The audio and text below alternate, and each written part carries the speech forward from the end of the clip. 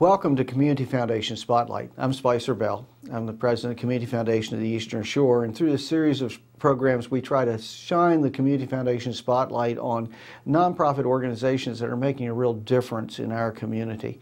Uh, my guest today is Jim Freeman, and Jim is the executive director of Second Wind Incorporated. And we're going to learn a little bit about Second Wind.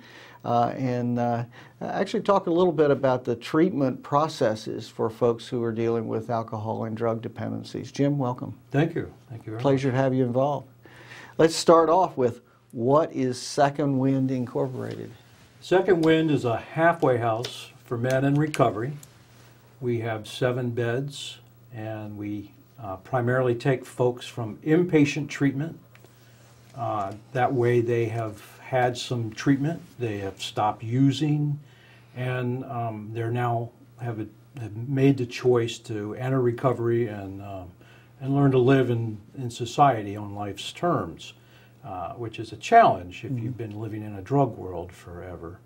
Um, that makes uh, we're not a place to come to get clean. Mm-hmm. We're a place to learn to live clean, and that's a big difference in my mm-hmm. book. So, now, what uh, the, the, the folks are with you? They they live at Second Winds. It's a housing mm -hmm. setup. We have uh, at least five hours of treatment a week, uh, discussions, topics, um, uh, life skills, uh, recovery topics, and things. Plus, we have a large group where each week a guy can uh, share what's going on with him. Uh, how life's going for him, what he's trying to do, get involved with. Um, it's the groups are wonderful because, uh, for instance, we had a guy who um, has been using heroin for 23 years. Mm. He was doing $300 a day for the last three or four years, and uh, he would he would you know stand up in group and say, "Man, I got to use. I'm going nuts," and uh, the, everyone would come together and support him. And he's he's asking for help and he's accepting the help. Mm-hmm. And we actually did a group hug one day just to, you know, just to show we're in it with you, you know, and uh, he's done great. Probably he's, some feedback that his, uh, he's not often gotten. No, in fact, historically left to our own devices we pick up. Mm-hmm. So living in a group facility, you have you have a chance. You have a, you got people that want to help you.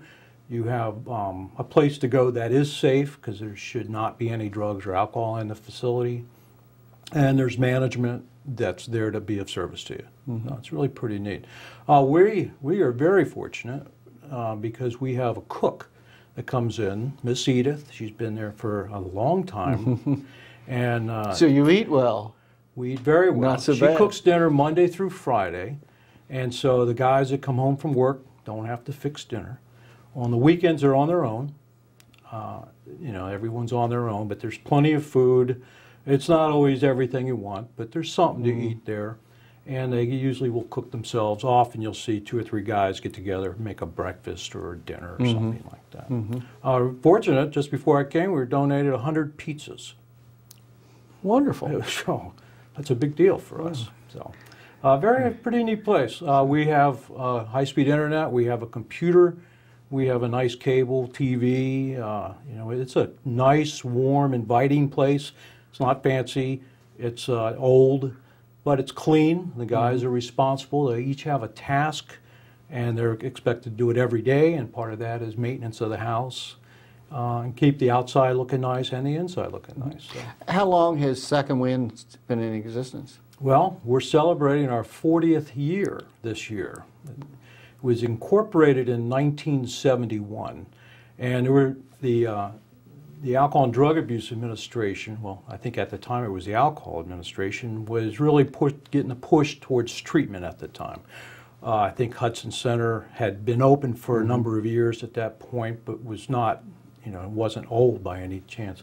But the guys would come out of Hudson, for instance, and they needed some, they needed another step because they were just going back to their old environment, mm -hmm. which historically is what almost everyone tries to do, but they relapse because that's not to anybody's advantage. Mm -hmm. You know, it's it's hard enough to get clean in the perfect situation, but when you're hanging out with your old friends and all those old expectations are there, it's really hard. So a fellow named Jim Mallory and Dr. William uh, Fritz, who happened to live next door to our current location, which is at 309 Newton Street, not the best of neighborhoods, but it's cleaning up quite a bit. And uh, Judge Lloyd Hot Dog Simpkins uh, was instrumental in County. coming together and, and incorporating it as a private nonprofit. And of course, there was the NIMBY issue, and not in my backyard, but Dr. Uh, Fritz went door to door, canvassing the neighborhood, saying, "Look, they're going to be right next door to me. This is a good thing. You're going to help these guys out, and these guys are going to be good citizens by living in this house." So it went. It happened. So And you've been there for 40 years now. 40 years so- in that same location. So pretty, uh, pretty solid there, I'd say. Now, how long have you been with Second Wind? Um, I would guess about two and a half years. So it's uh, been a challenge. Uh, it's you know it's only seven guys, so that's the glory. That's the easy part. But it's it's amazing what 7 guys in recovery can come up with and need and troubles they get into and and of course you're feeding these guys and so you have to have the food uh, you know we have challenges right now our we've been uh, turned away from the food bank Maryland Food Bank because we have a small state grant. And so they said if you know we were buying purchased I'm sorry donated food. And they said you can't buy donated food from us because you have this grant. Well, the grant doesn't cover all the food, so uh, we've been having some challenges coming up with meat because we were buying our meat from there. So we're always on the lookout for good deals, uh, donations of meat and food. Our daily bread has been useful, uh, very nice to us, delivering breads and some pastries and cakes and things like that, which is So it certainly sounds like there's some opportunity for corporate sponsorship there of, uh, you know, maybe grocery stores, if they're pulling stuff off the shelf, Absolutely. it's still, I think they, they certainly pull stuff off the shelf and it's still good Couple for, days, for, yeah. for, for a while. That's right. Opportunity for that to come to an right. organization like we yours. appreciate that when that happens. We've had deer uh, donated to us, and uh, DNR has a nice program where some of the um, meat packers, like uh, meat preparers, will cut the deer and make hamburger and give it to us without any charge. So that's a pretty nice thing, and we've had some pretty good manwich with the deer, or uh, things like or stew. Uh, so you know the guys eat a lot of different things. That's pretty good. Now, uh, how does how does Second Wind fit in the, the total continuum of treatment for somebody? Uh, You know, it could be somebody watching who has a family member has a Sure. drug or alcohol issue. Uh, you know, where where do they start to get help for something like that? Usually something happens. Uh, I always looked at it as you get this little box and you have clues, and you start putting the clues in. And somewhere along the line, they add up to, okay, I got a problem. I need to do something about it. Where do you go? Um, depending on your insurance and your payment ava- availability and things like that, the first place would probably be to go to a local inpatient facility. Right here in Salisbury, we have Hudson Health Services. There's Warwick Manor inpatient up uh, near Secretary, up that way. And uh, if they need detox from primarily from alcohol or uh, opioids, they would have a detox protocol. Then they would have treatment. And inpatient is a 28-day generally uh, type of program. Of help get it out of your system. it's out of your thing. system, but you also begin to, to learn. It's an educational process and also some behavioral uh, because there is some um, um, changes. There's some rules. You know, you get a task there. Uh, you have to be at this time at a certain time. If you miss it, then you get in trouble. If you miss it too much, you get put out. So you begin to see, okay, I have some responsibility that I have to do. You know, you're using heroin all the time. There's some that work and do fine on it, but there's most people they don't. Alcoholics, you know, once you start, once it's really bad, that's what you do. You go find it, you drink it, you recover from it. That's pretty much your life. Uh, and then you try trying to avoid everybody trying to call you to help you because your sense is, I need another drink. So, uh, inpatient is a good spot. Then comes uh, the halfway house. They refer, in, in most of our cases, they refer folks to us um, for a six month program, is what, what we offer. Um, And otherwise, they'll, they'll try and find some sort of recovery house to send these folks. Uh, the glory with us is we're very structured. Uh, you know, we are pretty caring. Other places, uh, it might, in theory, be a recovery house, which means nobody's using, but there's no treatment, there's no real supervision. You know, So no that's the way that a recovery house would be different from your program. from a halfway house. Halfway that's house, right. okay. Um, and once they would come out of our house, we try and have them set up with housing. Housing's pretty tough t- in today's market. There's no jobs, uh, so most of these guys don't have a lot of money to go rent a nice place. The smaller places tend to be in the crack house uh, arena, and uh, it's just really challenging. Now, really are, challenging. are some of your residents able to maintain a job? Oh, absolutely. Oh, absolutely. Um, you know, these guys, these guys become real good citizens. Uh, they are caring. They appreciate what they've been given, this chance to, to enter recovery and stay in it.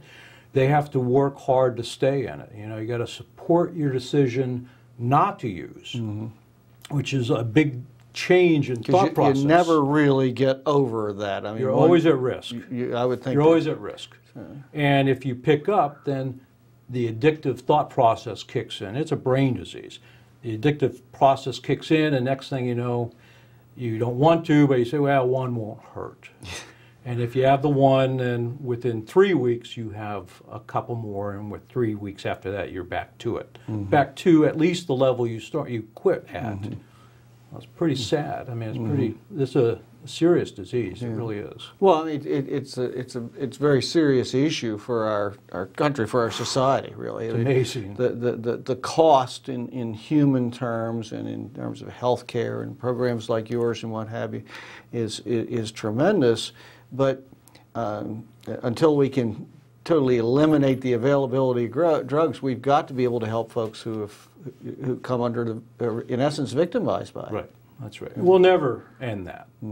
But the problem is some people can use recreationally. Some people can have a nice drink after work and not have any problems with it. And it never leads to problems. But there's other people, they have a couple drinks, you know, maybe over a longer period of time, and the genetic piece kicks in, the brain starts changing. Next thing you know, that's their main focus. And there's a lot of them. Uh, they, they, the numbers are like 10 to 15 percent. That's a lot of people. That is. That's a That lot is. of people, and probably underestimated. Right. You know, and the other the other scary part is like six people are affected by each drinker. Well, now you got more than half of the population of like Salisbury is affected by somebody's drinking. Mm-hmm. Sure. Because it's family, extended family, it's, it's, it's Worker, coworkers, Coworkers, workers, boss. kids. Know. All right, uh, drunk drivers hitting somebody else. They're affected. Their whole family's affected. Oh, it's It's tremendous Pretty severe. impact. So, well, you're watching Community Foundation Spotlight. I'm Spicer Bell. I'm the president of the Community Foundation of Eastern Shore. My guest today is Jim Freeman, and uh, we're talking about the uh, the second Second Wind Incorporate, which is a uh, halfway house. Uh, for, for men who are addressing the issue of drug and alcohol dependency here in, in Salisbury. Um, how, how did how, you know, where does the support for Second Wind come from? I mean, how, how do you how do you pay your bills? Well, we're really fortunate in that we have a, a state grant. Okay. It's not large, but it's certainly enough uh, that's been keeping us um, alive. Let Mm-hmm. me say that. We also, and we're very fortunate to have that. We uh, also have a couple contracts. Uh, we're, we're um, HANDS is a Worcester County program, homeless or never denied services, and uh, they will call us up and say, "I have this guy who needs some needs a halfway house. You know, he just came out of treatment, um, and, and we're going to pay for it." Uh, and that's that helps a lot. Uh, we have a VA contract, and we also have there's a new program in the state of Maryland called ATR, um, access to recovery, access to recovery. And there's a, we just signed a new contract for them. And the way our program works is if we have the beds open, we can bring one of these contracts. And we have six state-funded beds and then the extra bed. And historically, we fill it with the hands, but sometimes you don't get somebody's referring a bed, uh, uh, resident to you, so.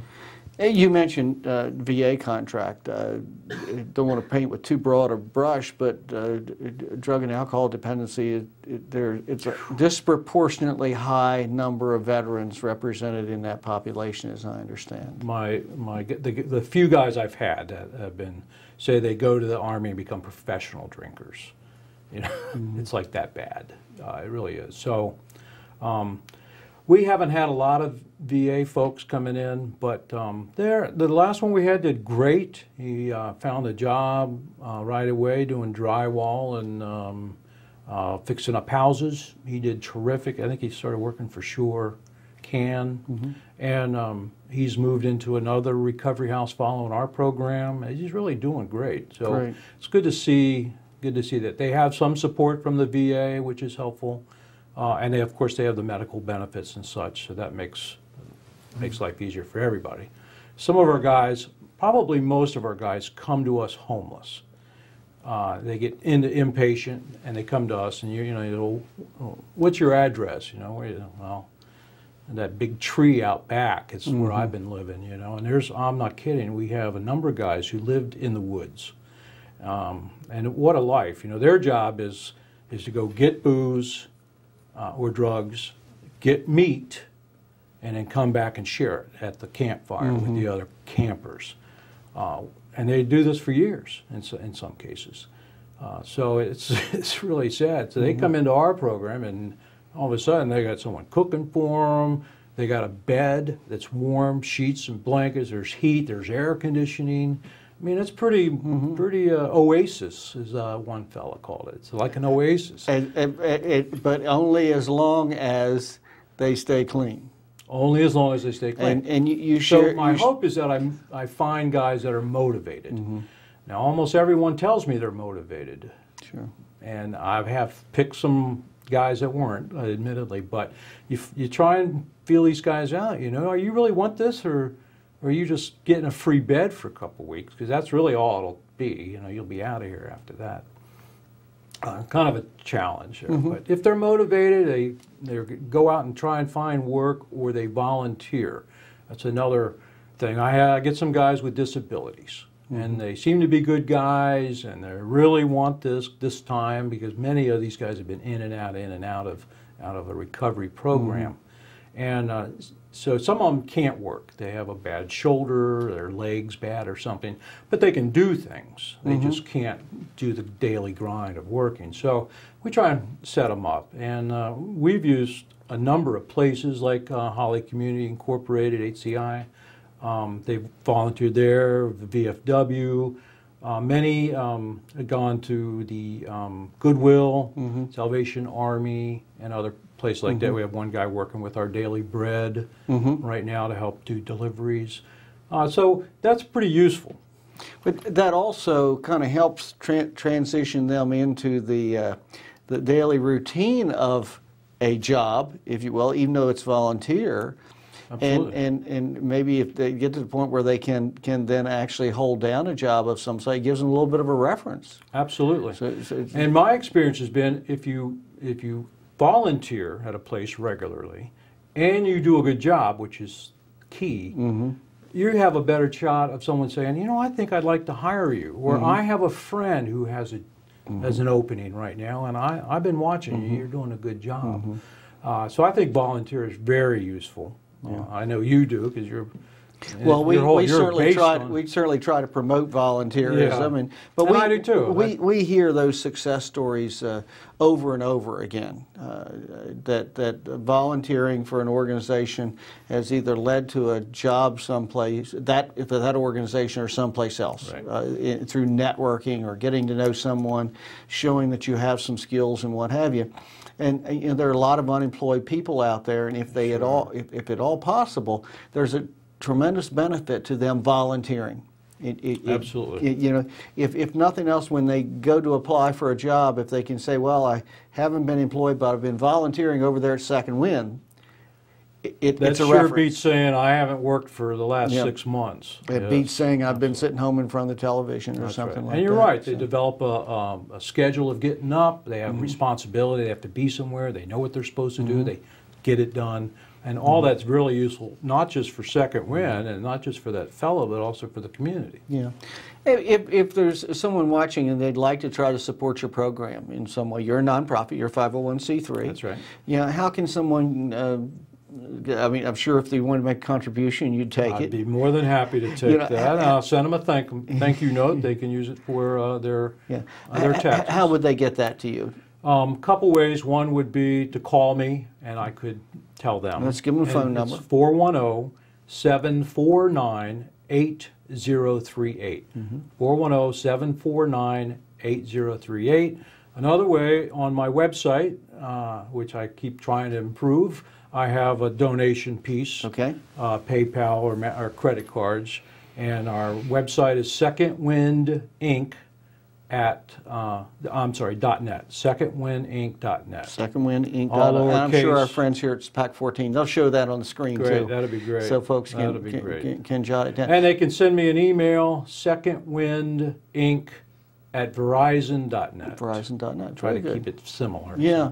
Now, eh, are there, if there's somebody out there they just like to think they might be have some something they could contribute, uh, you can obviously use, use food donations. Correct? Always use food. You can always use money. I mean, it, you know, Mm-hmm. seven because we have managers. We have eight, eight guys, nine guys all the time at the Mm-hmm. house. So there's electricity and um, all those expenses Mm-hmm. are there. Um, we're always in need of a seems like a refrigerator. Okay. They just don't last very Mm-hmm. long. And we have a couple of them, but they just don't last. They start Mm-hmm. leaking the water, and you're like, oh, too much work. You know? Mm-hmm. So if, Yeah. if somebody's in doubt, they have something they think you might be able to use, they could give, give you a call. The other thing I continue to look for and have not found the right piece is I would love for these guys, I'd love for Second Wind to have a job that these guys come in and learn a skill, uh, produce a product, perhaps maybe a service, but a product, and then when they leave here, take that that knowledge or whatever and move on to another kind of job or that same job somewhere else. I mean, surely that's the dream of all these kind Sure. of places, but that's certainly mine. Because you have guys, and it's challenging in this market right now to find a job. And if you can give them a skill that they would like to do and capable of doing, uh, it could benefit us, benefit the community, and certainly the fellow. Uh, Any, without naming names, any success stories you can share with us? We've, uh, well, there's, I've had quite a few. I've been really fortunate. Um, um, I'd say the, uh, any folks go back to their families? and- There are some, but I tell you, because they've been homeless, uh, you know, we, we have a family program mm-hmm. that doesn't get used very much mm-hmm. uh, because most of these guys are homeless. That means that they've already pushed their family away, where mm-hmm. they've they've hit them up for so much money and energy that the family just has to They said, "I'm do a little tough love Yeah. and say, look, you know, until you get your stuff together, we can't really be of service to you anymore. So you don't really see. And I just got a new guy in who he wants his family to be a part. So I'm really excited about that piece. And I met his dad, and he's a really neat guy.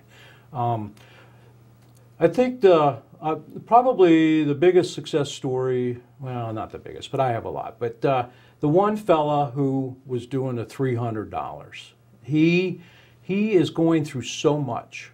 He has been uh, undercover for so long, of the, uh, using that much drugs, that he recently expressed um, feelings. He never really used feelings before. He had a hard ass, uh, excuse my French, demeanor, which kept people away. And uh, he lost a brother, and it was a real heartache for him. Uh, but he didn't let him get to him. He had a dad that wouldn't let him share his feelings uh, growing up. Oh, men don't cry, you know. So he, that's how he lived for, for years and years, 25, 30 years. And now, being clean, these feelings are coming out. And he's not very sure about how to deal with them. So we've, we've been doing a lot of talking about that. He'll go through these phases of change. Like he went through this phase of craving. And he would talk about it all the time. And I'd say, well, here's what you need to do. You're, you're on the right path. You're, you're exactly where you're supposed to be. Just stay with it. You know, you're almost through it. And he would get through it. And it would be wonderful. And he goes through these things. Well, right now we're doing the feelings thing, and it's a lot. You know, Mm-hmm. uh, a grown man with years and years of feelings. Is uh, he's he's a little estranged from his family. His uh, he lost a wife that uh, left him because Mm-hmm. you know he was using all the time. She didn't want to see him dead one day. Uh, he lost his brother. Uh, lots of other issues involved, and finally, he's coming to grips with that. And one of the grips was that it's it wasn't his fault. It's he has this addiction, and this addiction prevented him from doing things that he should have done or could have done better. And and putting the blame on the addiction is okay and is okay because that's it changes the way the man is. Mm-hmm. You know, getting clean puts the man gives the man the opportunity to come back to where he mm-hmm. should be. So that's what we try and do. We try and give them that opportunity uh, to get back to where they should have been. Well, Jim, we're, we're certainly you know glad we have facilities like Second Wind here in the community, you. and it really is. Uh, uh, you know, Second Wind's an interesting name for your facility, and it certainly is giving folks a, a second chance. I'm for, sure for some of them it's it's more than just a second chance, but hopefully it's the one that makes a makes a real difference. And we appreciate the work that you and your staff do. Um, yeah, and, and if there are folks out there who are watching who uh, have in their heart to reach out and support your work, we hope they'll they'll get in touch and, and at least they'll know a little bit more about uh, how a halfway house works. And if they have any questions, they're more than welcome to call me or contact me, and I'll be happy to help them out if I can. Great. Well, we appreciate you coming in and sharing the story of, of Second Wind with us. Well, So- thank you. Thank you very much. You've been watching Community Foundation Spotlight uh, here on the on PAC 14, and through the the Community Foundation Spotlight series, we shine uh, the the spotlight on organizations that are making a real difference in our community. And uh, for those who are trying to recover from addictions of alcohol and drugs, Second Wind is certainly one of those programs. Uh, and facilities, and uh, we urge you to contact them. You can contact them at uh, Second Wind Inc. at Verizon.net. Uh, they're located at uh, 309 Newton Street here in Salisbury, or they have a website, secondwindinc.net, N-E-T. And, uh, so, uh, uh, and uh, keep in mind that one way that any of us can make a difference is by volunteering, whether it's at programs like Second Wind or any of the other nonprofit organizations in the community. If you've ever thought about volunteering, check out the ShoreCan, that's S-H-O-R-E-C-A-N dot org website. Uh, and uh, that's a it's sponsored by the Community Foundation uh, of the Eastern Shore. It's an interactive website uh, that allows you to locate current volunteer opportunities. And I'm sure there's usually, any given time there's over 100 volunteer opportunities listed there, and I'm sure there's something there that'll fit work for you. Uh, and we thank you for watching Community Foundation Spotlight here on PAC 14.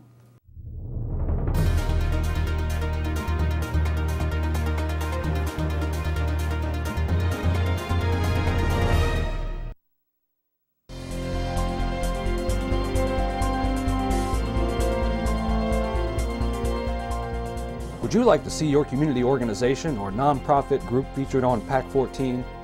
To get started, contact us at 410-677-5014 or visit our website at www.pac14.org. PAC 14 is a great way to connect with your community.